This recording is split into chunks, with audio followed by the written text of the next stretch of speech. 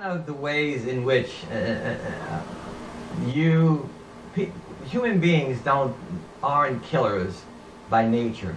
They have to be created. Killers have to be created. So the military is very good at doing that, uh, taking you and uh, transforming you into the wonderful, nice people you are today, um, into um, uh, human beings that are capable of killing people. Uh, and they do it to a very complex, sophisticated manipulation, conditioning um, period of time that's called basic training and boot camp. And, and they're very successful in doing that. And um, when you complete boot camp or basic training, now you're sent off to war where you put all that learning and training into practice. And you become a killer. And um, you, you, you, it has to have a toll. It has to cost you. And it does. Because now you, you, you have violated something that's intrinsically human. I'm not sure why, Because you have taken life. And you have taken life probably senselessly. And now you, you, you, you are, they, they, took you, they broke you down, they, they made you into a killer, they sent you to war to kill, you did, you finished that, and now you come home and they say goodbye, thank you very much, and they send you on your way. What they failed to do, however, is to make that reverse transition. They, they, they, they, they, they, they, they take you and transform you from the wonderful person you are, the killer. But what they forget to do is to transform you back. They, they, they don't care about, and I, I'm not sure it can be done, to be honest with you. But they don't, even, they don't even try. They don't try to, to take you, when you're coming home from, when I came home from Vietnam, I came home by boat. I still had blood on my, on my boots. I still had my jungle uh, utility, my jungle fatigues on. Still had my M16. I was on, I was, you know, I was uh, with, with being with the regimental landing team. We were always going aboard ship, so, and all of a sudden we found ourselves going home.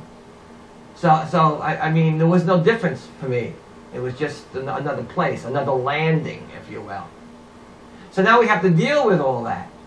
And, and one, one, of the, one of the experiences, one of the lessons that we learned in Vietnam is that you don't get too close to people.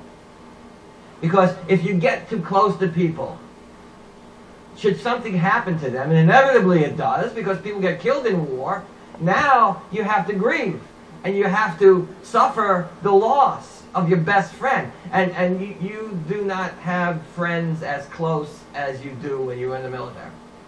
You live together, you sleep together, you bathe together, you go to the bathroom together, you do everything together. You're like brothers and sisters. You don't love a person as closely as you do when you're in the military.